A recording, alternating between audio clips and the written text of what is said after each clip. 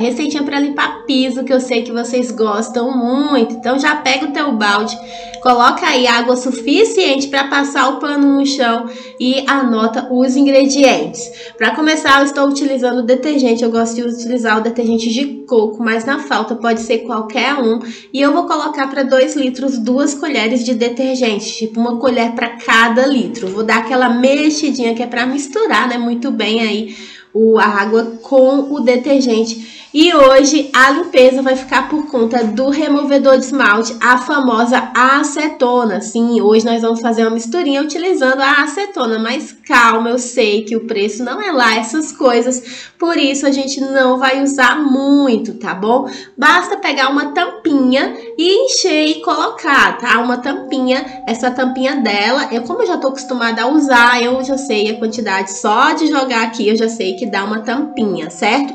Vamos utilizar também aí um desinfetante, qualquer desinfetante que você tiver na tua casa ou suco de limão, que é para dar um cheirinho extra aí na nossa é, casa e deixar perfumado. Afinal, quem não gosta de chegar numa casa e sentir um cheirinho de um desinfetante, cheirinho de casa limpa, né? O desinfetante que eu estou utilizando é esse aqui, e, gente, ele não é, é, publicidade, tá? É porque eu gosto mesmo, ele entrega o que ele promete. Então, é esse que eu estou utilizando. Mas usa aquele que tu quiser.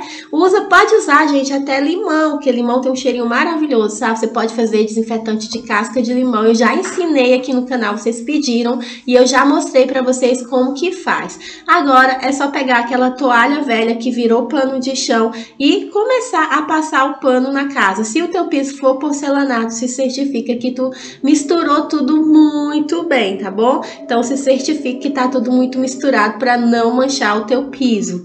E é assim que eu finalizo o vídeo de hoje, mostrando para vocês como é fácil utilizar ingredientes que a gente tem em casa na limpeza e não sair comprando tudo que a gente vê no supermercado, fazer aquela economia. Eu vou ficando por aqui. Beijo para vocês, até o próximo vídeo.